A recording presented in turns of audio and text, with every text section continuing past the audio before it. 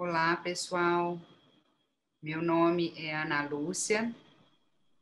É um prazer estar aqui com vocês hoje, dividindo esse webinar, né, ministrado pelo Corpo Clínico do SEIBIN.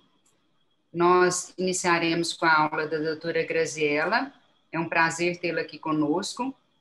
Eu e ela trabalhamos aqui em Uberaba como médicas radiologistas do grupo SEIBIN. E que vocês sejam bem-vindos e possam aproveitar bastante esse momento.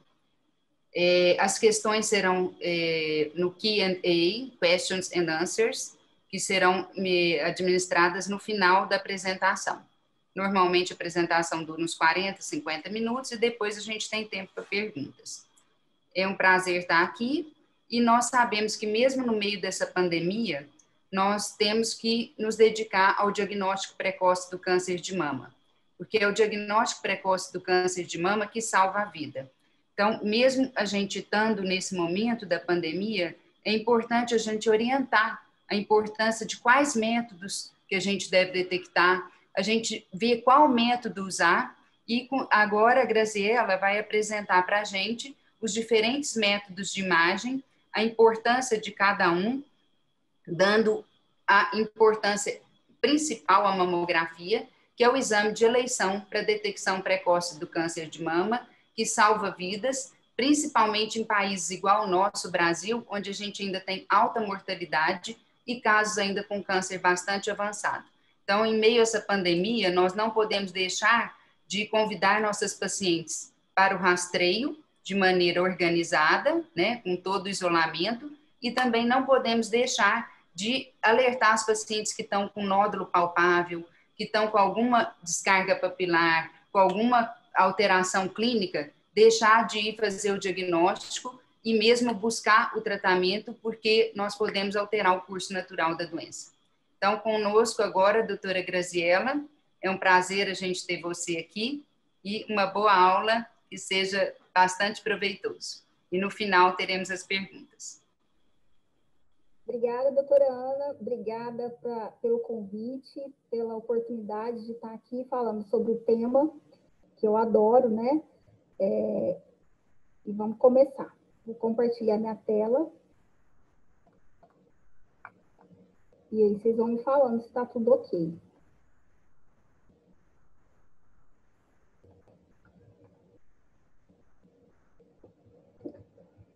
Bom, então, quando eu recebi esse convite do Dr. Ronan para estar participando, ele me perguntou de, de um tema que eu achasse interessante. O que, que eu acho que é mais importante uh, no cenário da radiologia mamária hoje. A gente falar e incentivar o rastreio mamográfico, o rastreio do câncer de mama em geral. Por quê? São as pacientes assintomáticas que não têm nenhum sintoma, nenhuma queixa palpatória, que interessa muito para a gente. Por quê? São estágios muito iniciais do câncer de mama.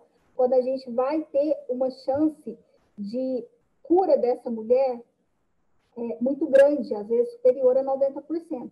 Então, é um tema que me encanta, eu gosto muito de falar, e que hoje aqui a gente divida as nossas experiências, as nossas dúvidas, e que a gente consiga aqui ser multiplicadores, multiplicadoras de conhecimento.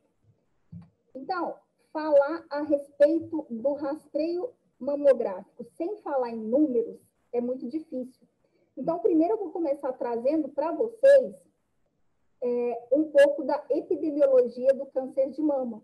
Porque são exatamente esses números que chamam a atenção de nós, médicos, profissionais de saúde, em voltar a nossa atenção para o câncer de mama. O porquê da gente fazer tanta campanha, da gente incentivar tanto que essas mulheres procurem o serviço de saúde para fazer os seus exames de rotina. Então, Estima-se que 48 milhões de mulheres no mundo, nos próximos 25 anos, sejam diagnosticadas com câncer de mama. É um número bastante expressivo. E desses 41 milhões, 10,6 podem morrer. Então, nesse momento, o que, que nós, profissionais de saúde, precisamos fazer? Chamar a responsabilidade e ver o que, que efetivamente a gente pode fazer para mudar esse cenário. Então, quais são os fatores de risco? O principal fator de risco para se ter câncer de mama é ser mulher. Só o fato de ser do sexo feminino, eu já consigo englobar, englobar um grupo de mulheres que, mesmo assintomáticas, em algum período da vida vai ter que voltar a sua atenção para o diagnóstico, para o rastreio do câncer de mama. História familiar. Aqui é um, um, um, fator de risco bastante delicado. Por quê? Alguns fatores eu consigo mexer e outros não. E daqueles que são imutáveis, a, a história familiar é um deles, porque eu não consigo alterar uma genética de família.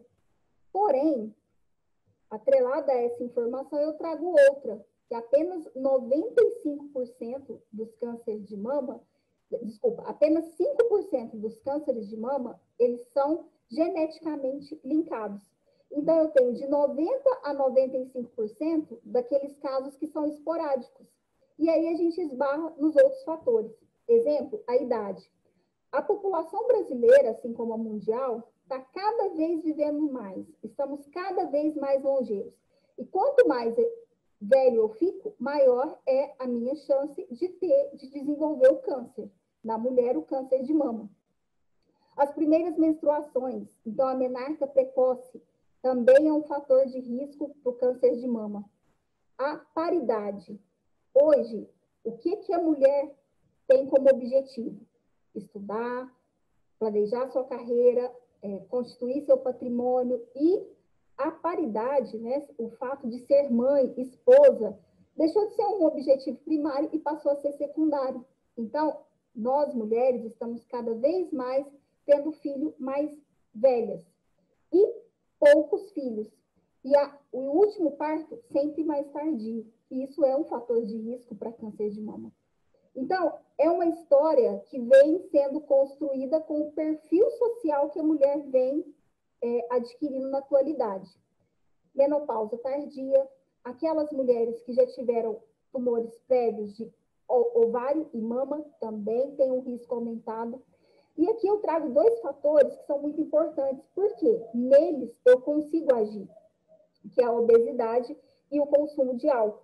Então, eu vou desestimular essa mulher a consumir álcool, vou inibir o tabagismo, estimular e inibir o tabagismo. E a obesidade é um fator de risco que a gente tem que focar bastante, principalmente após a menopausa. A imunoterapia, aquelas mulheres que fazem terapia de reposição hormonal, que usam anticoncepcionais oral, anticoncepcional oral, ela também tem um risco aumentado para ter câncer de mama.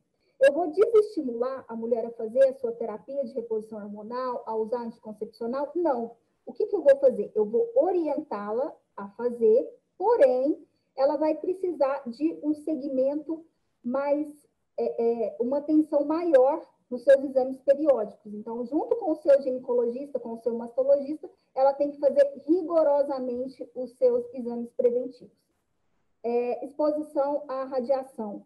Aquelas pessoas que tiveram o tórax irradiado, elas também têm um maior risco para estar tá desenvolvendo câncer de mama. Então, é, o câncer de mama é o tumor mais frequente entre as mulheres é muito triste falar nisso, porque a sobrevida média após cinco anos é de 89%, e um em cada cinco novos casos já tem metástase ao diagnóstico. O que, que quer dizer isso? Que nós estamos chegando tarde no diagnóstico. A gente não quer pegar casos avançados, casos metastáticos. Então, precisamos melhorar. E é a principal causa de morte de mulheres no Brasil é, aqui. Está mostrando esse, esse gráfico o quê?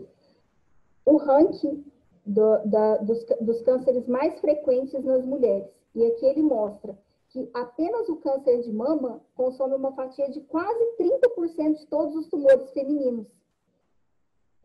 Se a gente puxar no perfil, se a gente puxar lá atrás, 30, 35 anos atrás, quem que estava nesse ranking? Um o, o câncer de colo de útero, porque era uma outra história. Era múltiplos parceiros, exposição ao HPV. E com a mudança do perfil da mulher, O câncer de mama, ele ganhou um, um, um, o primeiro lugar dentre esses todos tão, tão, tão comuns, né? Por quê? O perfil social da mulher mudou. Aqui a gente está falando de uma mulher com pouca paridade, com é, é, ingestas ruins, um hábito de vida ruim que todo o, o, o, âmbito social exige dela. Não na maioria dos casos, mas na, na, na, na não, não em todos os casos, mas na grande maioria. Então, é uma história que vem sendo construída, né? É um perfil que tem sido mudado. Então, o câncer de mama, em 2019, é, tirou 14 mil vidas. É, se diagnosticado em fases iniciais, a gente sabe que a chance de cura é de aproximadamente 95%, e é o principal câncer das mulheres que a gente já, já citou e voltamos a, a reforçar. É, se a gente for olhar isso no perfil geográfico, o que, que a gente tem? A distribuição dos cânceres de mama no Brasil por cada 100 mil mulheres. Então, a gente vê que aqui no norte temos 22 mortes a cada 100 mil mulheres. Por quê? Tem que ter uma explicação. Será que é um perfil diferente de mulher? Será que eu não tenho é, é, exames, é, eu não tenho campanhas de rastreamento efetivas? Eu não tenho número de mamógrafos eficiente? Então, existe uma diferença aí que pode ser justificada. No Brasil, o, o, a região que mais faz diagnóstico de câncer de mama é o Sul, que a gente conta com 74 diagnósticos em cada 100 mil mulheres, e seguido do Sudeste, que é a nossa região, de 68 casos a cada 100 mil mulheres. E a gente precisa encontrar, então, quem são essas mulheres. Por isso, a gente estimula os exames de prevenção. O que, que eu posso fazer para tentar rastrear esse tumor. E eu quero que aqui fique muito claro, porque palpação de mamas, ela não é método de rastreio. Ela deve ser estimulada pelo médico assistente, porém a gente não pode confundir que palpação de mamas é rastreio. Para que, que ela serve? Ela serve para o autoconhecimento da mama, porque se surgir algo novo, durante a palpação, que a mulher costuma fazer mensalmente, ela vai notar aquela diferença na mama. E isso pode levar ela a procurar o atendimento médico. Ele deve ser feito após o período menstrual, porque as mamas estão menos túrgidas, menos edemaciadas, que vai facilitar a palpação. E a mamografia, sim, é um método considerado para rastrear. Não existe ainda melhor método que ela. Aqui só um diagrama demonstrando para vocês. A bolinha rosa é um nó, o tamanho de um nódulo médio descoberto numa mamografia de rotina. Então, aqui ele está inferior a um centímetro. Aqui, o tamanho médio de um nódulo descoberto na primeira mamografia. A mulher nunca tinha feito mamografia e foi fazer a primeira. Então, a gente vê que ele é um pouquinho maior aqui do que aqui. Já aqui é o tamanho do nódulo médio descoberto no autoexame de rotina. Veja a diferença. Aqui ele já passa de um centímetro, já é um tumor maior. Então, aqueles tumores percebidos durante a palpação, geralmente eles já são maiores. E olha esse aqui no exame que ocasionalmente a mulher faz a palpação. Então, não é esse tamanho de tumor que a gente quer pegar. Por isso que a gente estimula que elas façam a mamografia de rotina. O diagnóstico aqui é melhor do que aqui. Então, o autoexame não causa impacto na sobrevida, então ele não é rastreio, ele tem uma baixa sensibilidade, que fica em torno de 20% a 30%. O exame clínico, que é o que o médico faz toda vez que a paciente faz a visita no consultório, ele deve ser anual após os 40 anos e a sensibilidade também é baixa, em torno de 50%. E ele não deve ser usado sozinho como método de rastreio, apesar da experiência dos profissionais. Aqui, então, é, a ilustração é um mamógrafo, acho que a maioria já conhece, já teve contato. E as mamografias hoje, com os programas de rastreamento, o que, que a gente faz? A gente divide elas em, em mamografias de rastreamento, ou seja, aquela paciente que está assintomática, que procura o serviço de saúde para realizar o seu exame. Então, preventivo. E as mamografias diagnósticas, que, ao contrário, a mulher já apresenta alguns sintomas. Ela tem uma queixa palpatória, ela tem uma saída de secreção pelo mamilo. Então, essa mamografia já sai do, do, do, do bloco do rastreamento e entra como mamografia de, de diagnóstico. Então, este sim é um método efetivo. Por quê? A mamografia, ela causa impacto na mortalidade da mulher, em torno de mais ou menos 30% após os 50 anos. E olha aqui a sensibilidade, 75% a 90%. Então, é um método muito bom. Por quê? Ele é um método de fácil aplicação, ele é pouco lesivo, ele tem alta sensibilidade e especificidade, e o principal, ele causa redução na mortalidade. E isso que a gente quer de um método de rastreamento. E quais as recomendações? Hoje, Colégio Brasileiro de Radiologia, é, Sociedade Brasileira de Mastologia recomenda que toda mulher, após os 40 anos, faça mamografia anual, de 40 a 74 anos. Já no SUS, o que, que eles preconizam? Que entre 50 e 69 anos, a mulher faça o exame a cada dois anos. Após os 70 anos, vai ficar é, é, para ela acordar de acordo com o seu médico assistente. Então, aqui eu vou mostrar para vocês alguns casos da nossa rotina.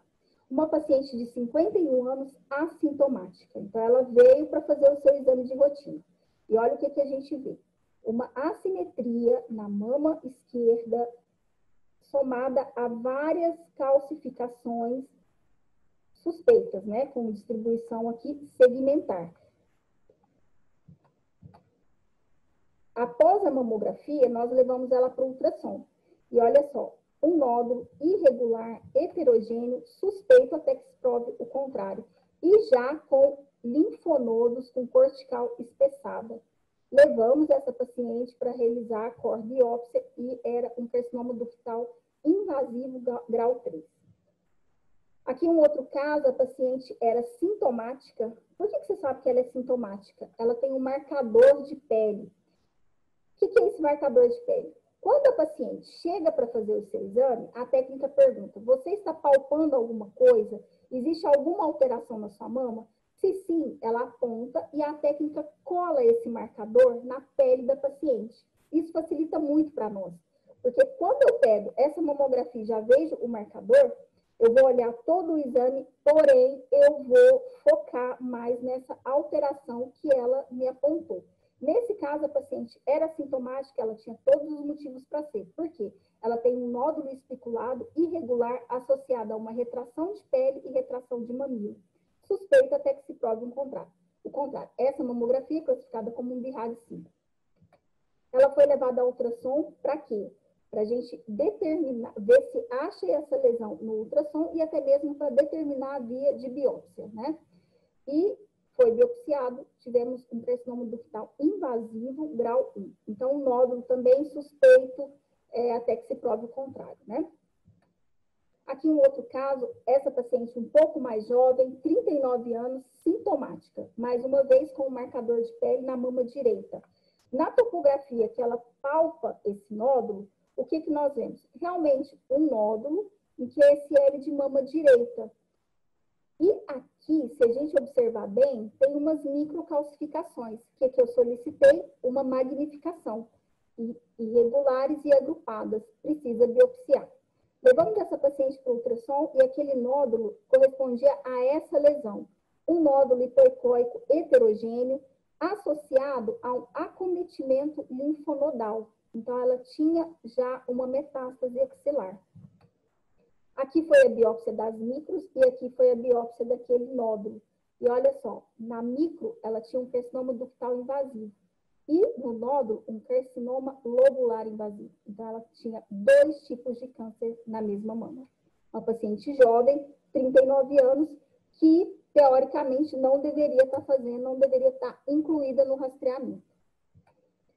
Esse esse artigo aqui, eu trouxe para vocês, quem tiver interesse, depois procura, ele é bastante interessante e ele é novinho aqui, né? Foi publicado agora, no dia 12 de agosto de 2020, então, há 15 dias atrás.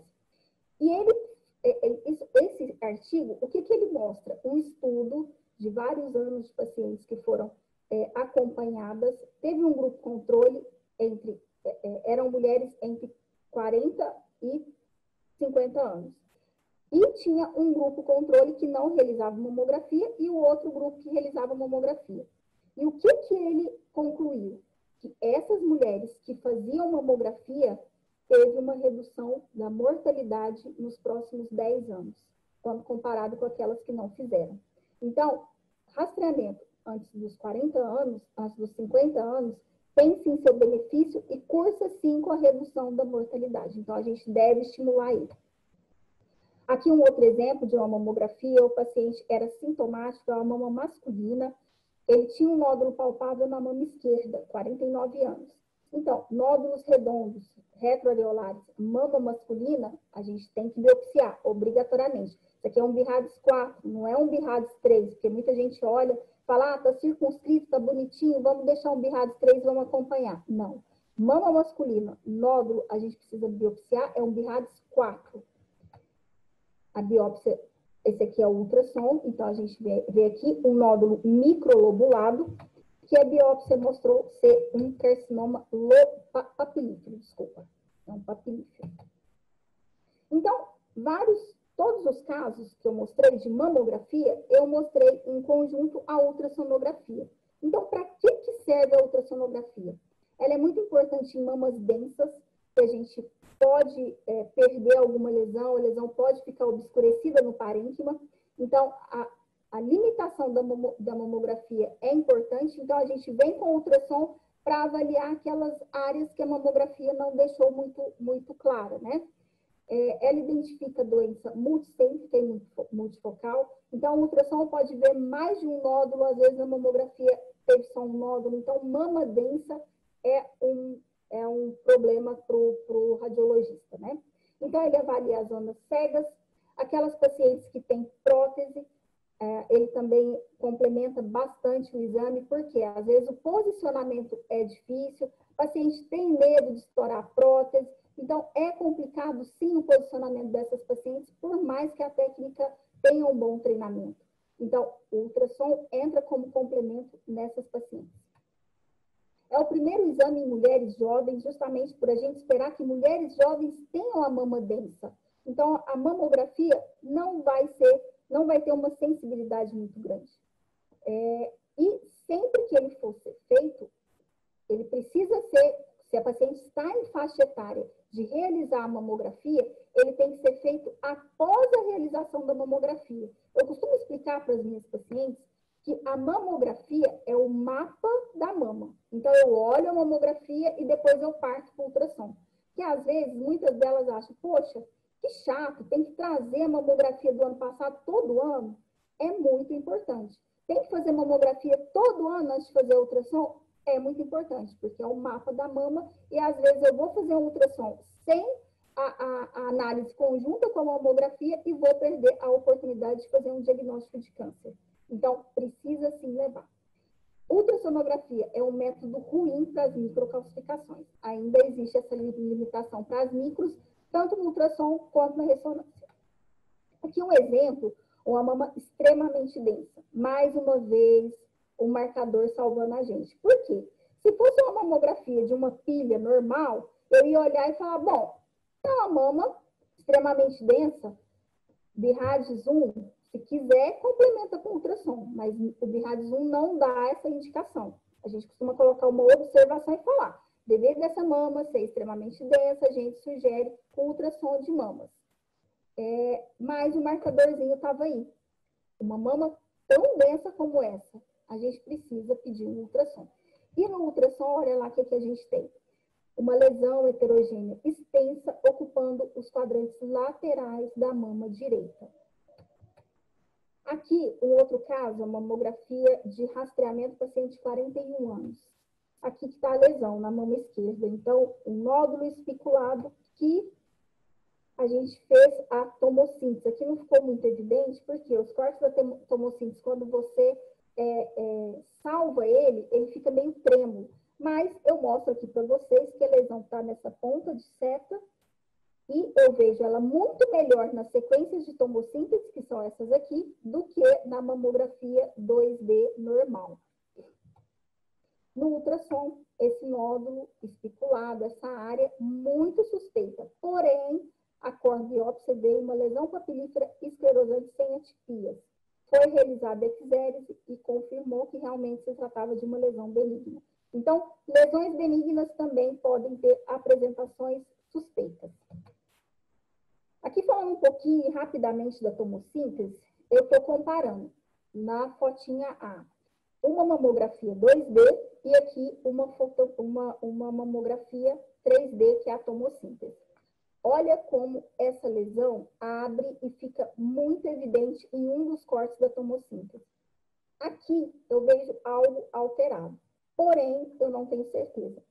Então, a tomossíntese ela é muito importante para qual tipo de mama? Para aquela que a gente tem limitação na mamografia, mama densa. Então, ela é ótima nas, nas assimetrias, nos nódulos. Então, ela vem como método complementar que a gente acha que num futuro breve vai ser inserida como método de rastreio, como a mamografia de rotina, né?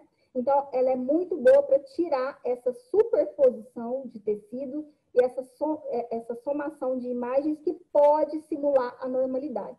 E aí a gente reduz a nossa taxa de falsos positivos no rastreamento mamográfico. Então, é um método, para mim, excelente.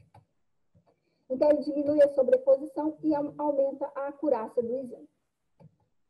Aqui eu trouxe um filminho. Aqui é a mamografia digital 2D e aqui é a tomossíntese. Olha só, a paciente é sintomática, tem um marcador. Aqui eu vejo uma área mais densa nos quadrantes laterais da mama direita. Quando eu levo para a tomossíntese, ela vai fatiando a mama, vai cortando, então faz, vai, faz vários cortes de um milímetro. E olha como essa, essa lesão vai ficando evidente. Tá devagarzinho, porque é um filme pesado, então ele vai mais devagar. Mas olha só, uma lesão especulada irregular. Eu vejo ela melhor aqui do que aqui. Essa aqui é a médio lateral. Apesar de ser uma lesão muito evidente na médio lateral, com comprometimento axilar, mas ela fica melhor demonstrada na tomossíntese, porque esses cortes finos me facilita a visualização e a definição melhor dessas imagens. Então, este é o método que a gente é, acredita que seja inserida no, no rastreamento do câncer de mama. Aqui era só para mostrar os cortes, como eles vão ficando finos, como o, as lesões vão sendo demonstradas com mais sutileza e a eficácia do método. E a ressonância magnética? Bom, a ressonância magnética ela é muito bem aplicada no estadiamento daquelas é, pacientes que foram diagnosticadas com câncer de mama. Então, ela avalia a extensão do tumor, se a, a mama contralateral tem acometimento ou não, e ela, assim como ultrassom, também pode identificar os tumores multicêntricos e multifocais. É, é considerado também o melhor método para avaliação dos implantes de silicone.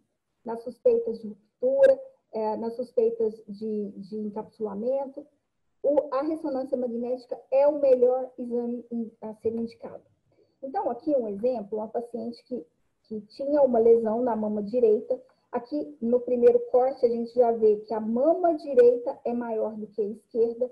E quando é injetado contraste, a gente vê uma lesão ocupando todo o corpo mamário à direita. E ela realçou ao, após a injeção do contraste. Então, uma lesão suspeita até que se prove o contrário. Aqui, mostra a avaliação dos implantes. Esse implante, à direita, está de formato, é, é, a morfologia dele está preservada. Já esse esquerda, a gente vê que o sinal já está diferente do da direita, ele já tem um hipossinal em relação ao da direita, e vemos essas linhas irregulares.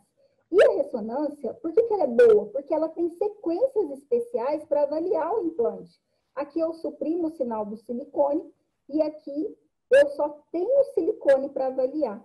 E olha só, esse implante daqui está rompido. Por quê? Eu tenho silicone fora da cápsula interna. Então, isso é muito fácil de ser visualizado no exame de ressonância magnética. Às vezes a gente fica quebrando cabeça, vendo sinais indiretos na, no ultrassom, na mamografia, e às vezes pacientes jovens Primeiro ultrassom, depois mamografia e só mais tardiamente que vai chegar a ressonância. Então, para avaliação de implantes, o melhor exame pode ser o primeiro exame a ser indicado, ressonância magnética. Aqui um outro caso, foi a doutora Ana que me, me cedeu ele, muito bonito. Uma paciente de 40 anos, ela tinha um implante há dois anos.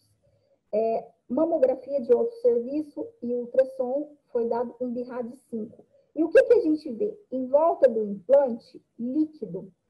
E adjacente a esse implante, um nódulo irregular que realça após a injeção do meio de contraste. Aqui numa reconstrução MIP, a gente vê que tem uma lesão grande aqui. Essa lesão biopsiada foi um carcinoma ductal invasivo. Então, a gente tem aqui mais um método, que é a mamografia espectral com contraste. Ah, o que, que é isso? Exatamente, uma mamografia que se faz injetando contraste. Acho que está passando sozinho. Uma mamografia que se faz injetando o contraste na mama da mulher. É, e o que, que ela promete? Resultados muito parecidos com os exames de ressonância. Ela tem uma sensibilidade muito parecida. E o bom é que o tempo de, execução é muito pequeno, é em torno de 5, 7 minutos com uma equipe treinada. Tem um custo baixo, então um método muito bom, principalmente para pacientes do SUS e aquelas que têm fobia à realização da, da ressonância.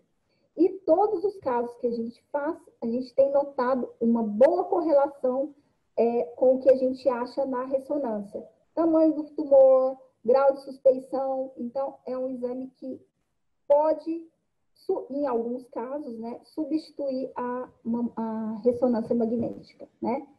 Que ela oferece informações comparáveis. Aqui um exemplo uma mama extremamente densa, mais uma vez, paciente sintomática, um marcador de pele. Parece sim ter algo nodular aqui na região periareolar à direita.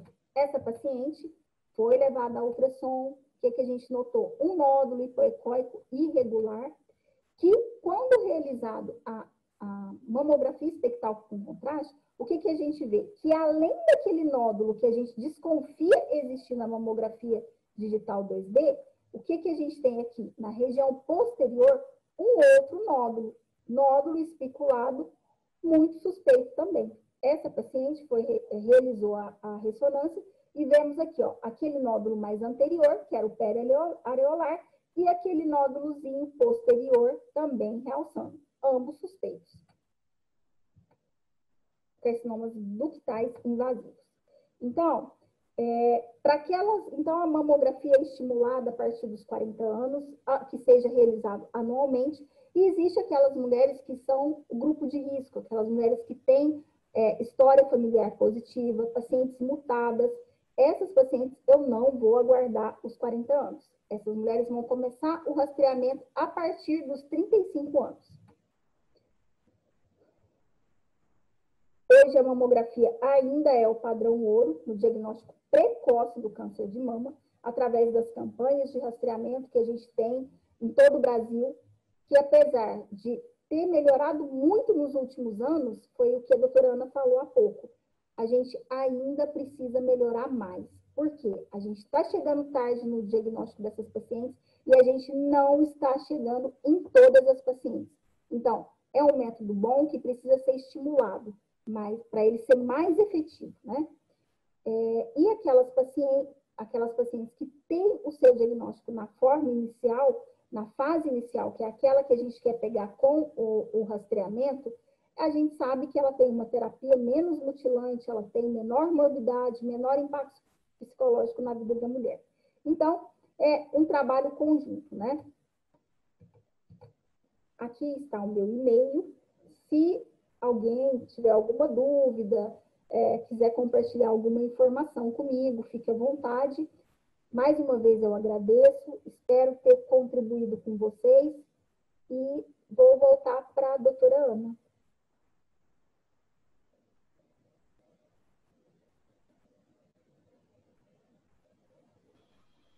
Bom, pessoal, é com muito prazer que eu recebo essa aula maravilhosa da doutora Graziella Nós, nós sim, trabalhamos pela detecção precoce, por exames de eleição.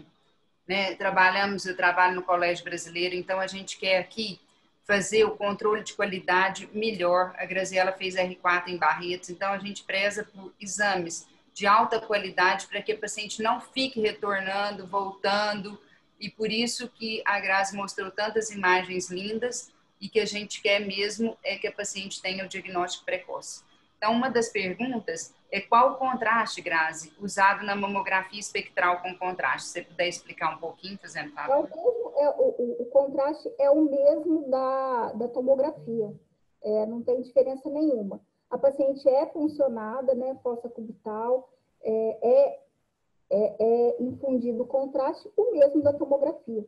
Ah, algumas pacientes precisam ser dessensibilizadas, né, que já, já, já é, realizou, já teve alguma reação pelo contraste, pelo, pelo iodo, então, às vezes, a gente precisa fazer a dessensibilização igualzinho na tomografia, é o mesmo contraste. Isso. E é um exame, né, Graça, que está tomando uma, um lugar pelo preço, igual você falou, que a ressonância é mais cara. Só que nós, radiologistas, que mexemos com mama, não queremos mais contraste. Nós fomos felizes. Então, tem a ala de quem não quer mais, né? que você tem que ter o cuidado, tem que ter uma sala, tem que ter um preparo, tem que ter. Então, assim, a gente sabe que a ressonância é mais cara, mas quanto mais ela barateia, mais a gente acha fácil, né? E ainda não é tão, assim, difundido e divulgado a mamografia com contraste, mas é um exame excelente, porque tem um preço melhor, mas tem as contraindicações, né, do uso do contraste. É, outra pergunta, Graziela, é como conduzir pacientes e classificação de BIRADs para pacientes portadores de implante? que tem líquido pericapsular leve ou moderado, sem outros achados ecográficos sugestivos. Então, no ultrassom não viu nada, né? Não, essas pacientes, geralmente esse líquido é fisiológico, não precisa fazer nada. Ela vai ela, ela é um BIRADS 2, a menos que tenha algum sinal de, de anormalidade nos métodos de imagem. Esse líquido está diferente, ele não está tão anecoico, será que pode ser o, o, o sangue, será que pode ser pus?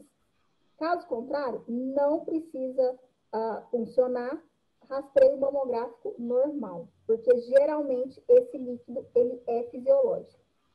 Isso mesmo, eu concordo. A gente na ressonância vê, quanto mais vocês verem ressonância, vocês vão ver que é um líquido pequenininho, quantidade. E o importante aí, né, Grazi, é enfatizar a clínica. Então, a simetria, a dor. Então, o exame clínico aí vai ajudar muito a gente, né? O médico fazer um exame clínico bem feito, a história clínica da paciente ajuda muito a gente conduzir, né? Se vai fazer ressonância, se não vai, se vai só controlar. Então, a clínica aí é muito importante também. E outra pergunta, Grazi, a ultrassonografia da mama inclui as axilas? Que situação que nós estamos aí hoje? Eu não consigo avaliar uma mama sem olhar a axila. Porém, até a gente estava discutindo, deve ter uns 20 dias, um artigo é, que falava que às vezes a gente acha tanta coisa avaliando a, a, a axila que será que é realmente importante? Então ficou a pergunta, né? Eu acho que faz sim. Às vezes a gente pode pegar algum carcinoma oculto da mama que está presente só na axila, né?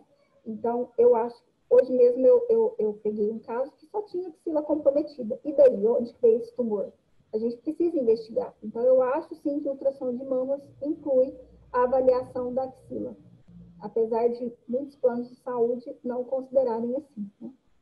Essa é uma batalha nossa, né? Nós no Colégio Brasileiro também estamos batalhando por isso, porque a axila é um exame importante e ela demanda mais um tempo, né? Nós já temos um tempo curto para fazer ultrassom de mama, ainda temos. Então, se você não fizer, tá tudo ok. Só que a gente que fez um treinamento em universidade, tudo a gente não deixa de olhar. Então, o ideal é que o médico pedisse ultrassom da mama e axila, incluindo axila, que tem outro código, né? É muito importante. E aí, por quê? A gente tem câncer oculto, a gente pode detectar uma leucemia, a gente pode ver linfonodo e ser o primeiro, eu já tive casos que o paciente era HIV e a gente só viu a partir de fazer axila. Nós podemos, por exemplo, paciente tem outros tumores, nós podemos ver metástases, né? E aí a gente pode avaliar principalmente o câncer oculto, né, Grazi? Que muitas vezes a paciente não, é, felizmente é mais raro, mas a paciente tem linfonodo positivo e a gente não acha nada, acaba que algumas vezes a gente acha ainda na ressonância, mas tem casos que a gente não consegue ver em método nenhum e a gente tem que fazer a biópsia dirigida pelo ultrassom porque fez um ultrassom. Então, um ultrassom bem feito, ele deve ser feito da mama e da axila. E a gente deveria, o médico deve solicitar os dois, né, os dois exames. Principalmente em paciente que está em tratamento, né, que teve câncer, paciente de risco, óbvio que essa era obrigatório o médico pedir ultrassom de mama e axila, né? Eu acho que, deixa eu ver se no bate-papo, é, pessoal, é no que, no que, ei, que era para fazer pergunta, deixa eu ver se tem mais alguma. Está falando aqui, os convênios têm código para solicitar tomossíntese e mamografia com contraste? Não, ainda não. Os convênios, assim como o SUS, ainda não paga a mamografia com contraste e nem a tomossíntese. É uma briga que vem existindo, né? Mas a gente ainda não consegue, principalmente no interior. O SUS paga como uma mamografia normal e os planos de saúde também, como uma mamografia normal. E aí que está o problema, por quê? o aparelho é muito caro. E aí que fica aquela, aquela dúvida. Eu vou investir? É um método excelente, eu acho que complementa muito o exame mamográfico, né? Porém, é um exame caro e os planos de saúde não estimulam, né? Eles não acham que não deve ser pago ainda, né? É. Aí, Grazi, aqui, ó, daquela pergunta da, do contraste, qual o contraste usado na mamografia? Perguntou quanto tempo depois faz? o exame, depois que injetou o contraste? Tem que ser rápido. Você injetou, você já começa a fazer o exame. É simultâneo. Injetou, já, já, já enfaixa o braço da mulher para você não deixar que ele ou até mesmo tira, posiciona ela no mamógrafo e você tem até o contraste fica ali represado até 10, 11 minutos. Mas o ideal é que seja feito até em 7 minutos, quando aquela, a, a, aquela lesão Está cheia de contraste ainda. É, Eliane Espíndola aqui perguntou: difícil para o ginecologista generalista quando vem BIRADS 2 com nódulo palpável, dando falsa sensação de tranquilidade no encaminhamento para o mastologista e RCA de mama. Ocorreu essa semana. Provavelmente uma mama densa, de difícil avaliação pela, pela, pela mamografia, e foi um BIRADS 2, né? Mas eu acho que, pelo menos assim, nos nossos laudos aqui, o que a gente coloca? A paciente não tem lesão evidente na mamografia, então ela é um BIRADS 2. A menos que eu faça no mesmo dia o ultrassom e ache no ultrassom uma, uma lesão suspeita. Eu posso dar um laudo combinado, eu mesma não vendo nada na mamografia, posso dar um BIRADS 4, um BIRADS 5, porém, devido à concordância com o exame de ultrassonografia. Se eu não tenho nada, eu libero um BIRADS 2, mas eu deixo uma frase em negrito falando em topografia de queixa palpável referida pela paciente, não encontramos achados suspeitos por este método. A critério clínico sugere complementação com ultrassonografia, ressonância, e vai de cada caso, né? Mas provavelmente foi isso que aconteceu. E acho realmente que é muito complicado para vocês, mastologistas é, e ginecologistas em geral, conduzir um caso que o exame é normal, né? É, Grazi, lembrar que, por exemplo, o paciente, hoje o BIRADS permite isso, né, a nova edição. A gente põe um BIRADS e recomenda uma outra coisa. Então, isso foi uma, uma grande aquisição, né, da, da edição nova do BIRADS, que você não fica preso, né, não fica amarrado.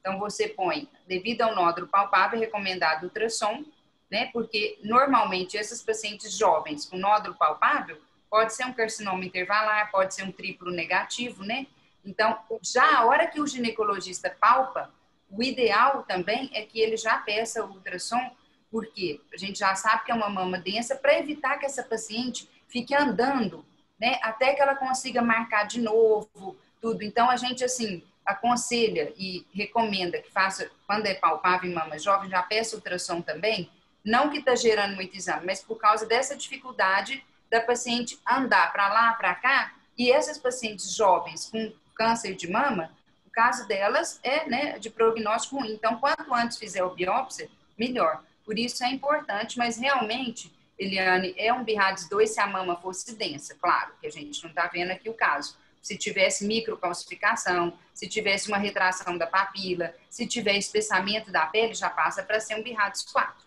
né? Agora, outra pergunta, no CT de tórax de rotina, quando valorizar tecido mamário em homem? Excelente apresentação, está te, te parabenizando e falando muito obrigada. Obrigada, Heloísa. Então, numa tomografia de rotina, geralmente a gente vai ver algum tecido ali retroareolar, é, mas quando que ele vai ser suspeito? Quando ele tiver uma conformação nodular. Nódulo em mama masculina, a gente considera suspeito. Agora, se for aquele tecidinho, fibro glandular, que você vai passando os cortes da tomografia e vai vendo que ele vai abrindo, que trata só de tecido fibro glandular, provavelmente é uma ginecomastia e dispensa maior atenção mas ficou na dúvida, coloca uma observação e sugere a realização da, da ultrassonografia complementar. E dependendo é, da idade também, mamografia. Isso. É, que é o exame de eleição no homem, né, Grazi? Depois dos 25 anos, é, o ideal é pedir a mamografia, porque ele pode ter microcalcificação e lá no ultrassom não vai ver. Né? Não vai ver, isso. Aí eu não sei, deixa eu ver o Afrânio. O paciente tem pouco volume de mama e não aceita fazer mamografia por referir dor e pede para fazer exames de ultrassom, o que fazer? Essa é uma boa pergunta, hein, Graça? E, ela, e, e assim, é uma queixa muito comum das pacientes que chegam para a gente para realizar ultrassom. Ah, não posso fazer só ultrassom?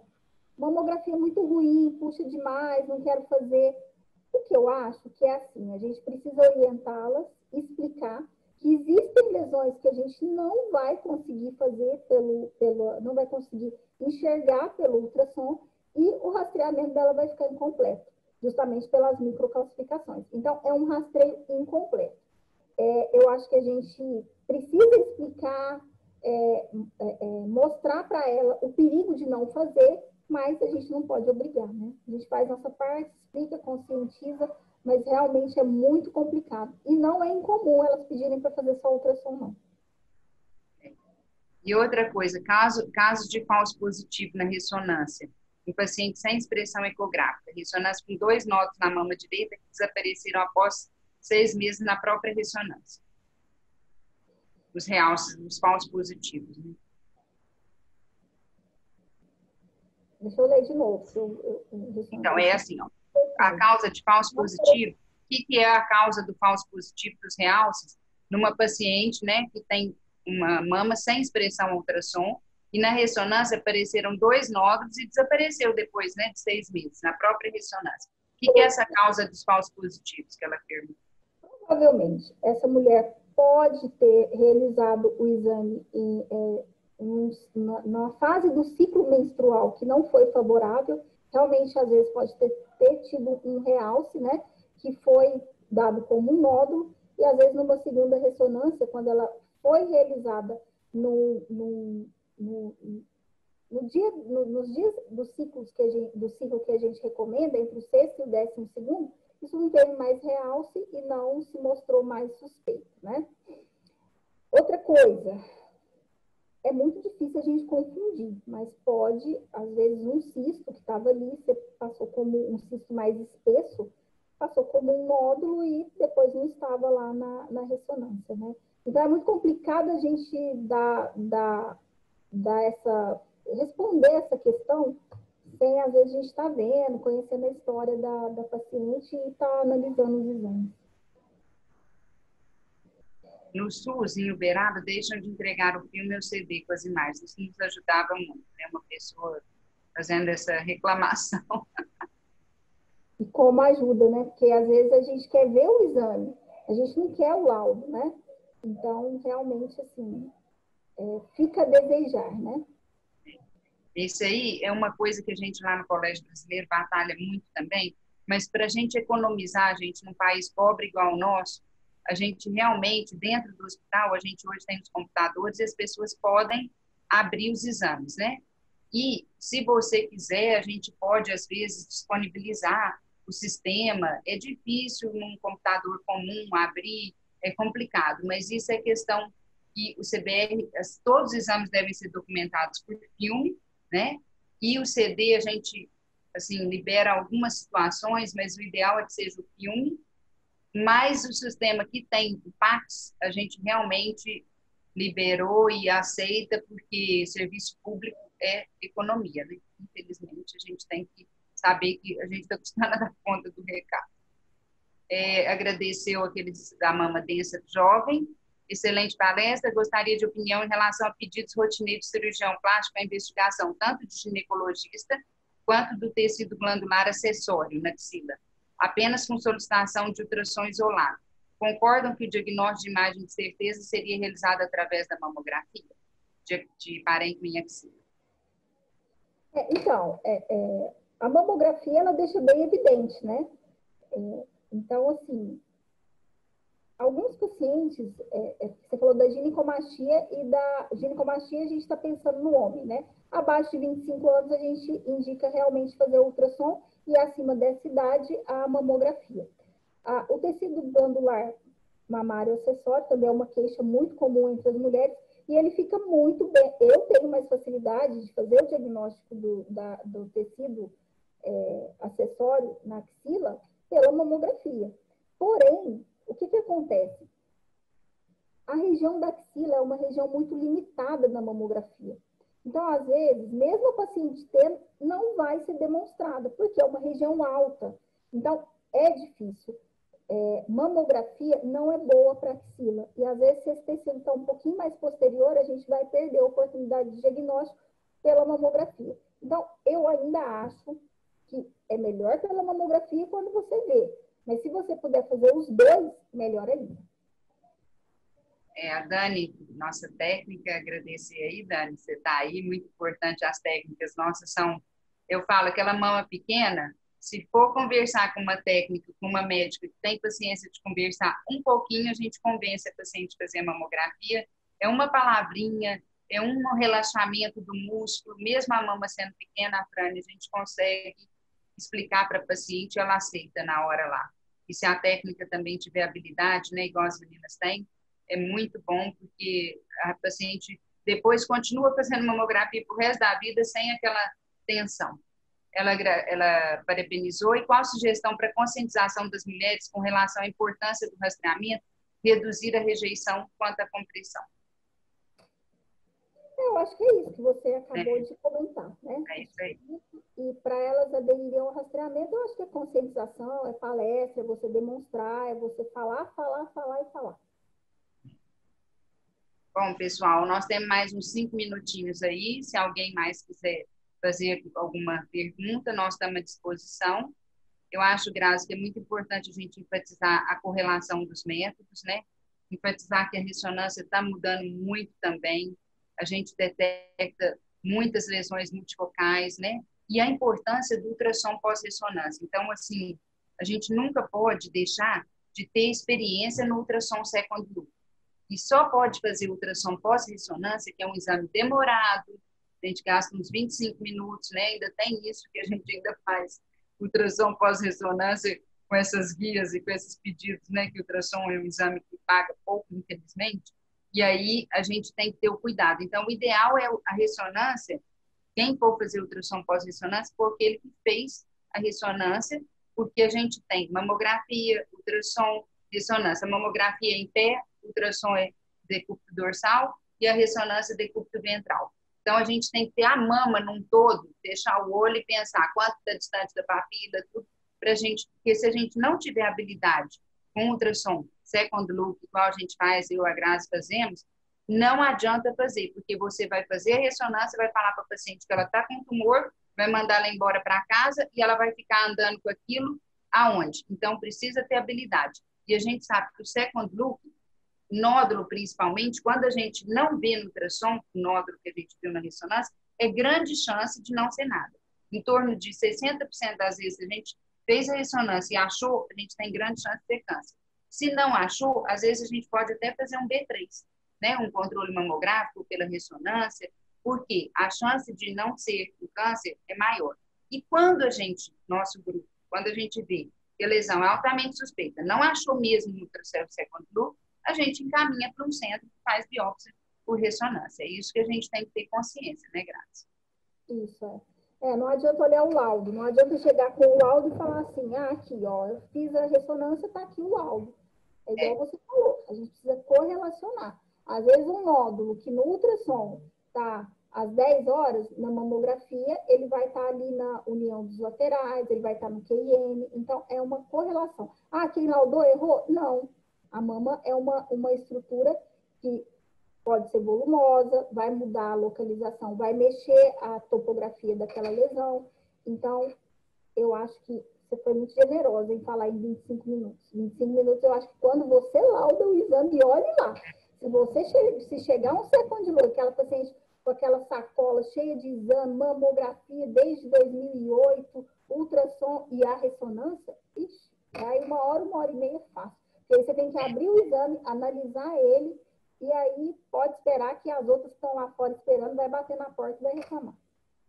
E ainda lembrar, né, Grazi, nas pacientes de alto risco, para a gente reforçar a importância de fazer todos os métodos e fazer ressonância também a partir dos 30 anos. Essas pacientes devem ser principalmente BRCA2 positivo, que elas são mais radiosensíveis, então é importante a gente fazer ressonância, pelo menos, não tem um protocolo ainda, mas pelo menos uma a cada dois anos. Por quê? Porque a gente tem o triplo negativo, que mata né? É um câncer que evolui às vezes de prognóstico ruim e tem aqueles tumores que são os é, intervalares, né? Que são muito comuns, principalmente que as pacientes são densas, né? As, as mamas são densas, pacientes jovens. Então é importante, gente, a gente reforçar paciente de risco que tem mãe, tia, irmã CA de mama, a gente sugerir que faça a mamografia a partir dos 30 e fazer também a ressonância como complemento porque a gente pode detectar lesões que não seriam vistas pelos outros médicos.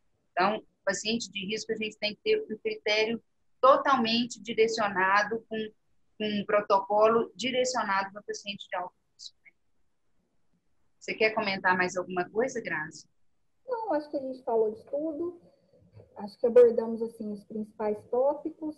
Se alguém ficar com alguma dúvida, tem um e-mail aí disponível vocês fiquem à vontade, tá? Muitos de vocês têm um WhatsApp, fica à vontade para perguntar, para discutir casos, isso é muito bom, enriquece, a gente aprende e é ótimo. Vocês fiquem sempre muito à vontade em entrar em contato com a gente. É um prazer. Então, eu queria agradecer o SEIB pela oportunidade da gente estar aqui, a gente que ama o que a gente faz, né? Não precisa a gente falar para vocês, eu e a Grazi, a gente se dedica muito e nós né, fazemos o melhor que a gente pode, a gente investe na ciência, na pesquisa, na qualidade. Eu quero agradecer ao Dr. Ronan e toda a equipe do SEIB pela oportunidade da gente estar aqui compartilhando e principalmente a doutora Graziella por essa brilhante apresentação tão né, completa, envolvendo todos os métodos de imagem que era a intenção. Obrigada a todos e um abraço. Tchau, gente. Obrigada. Até a próxima.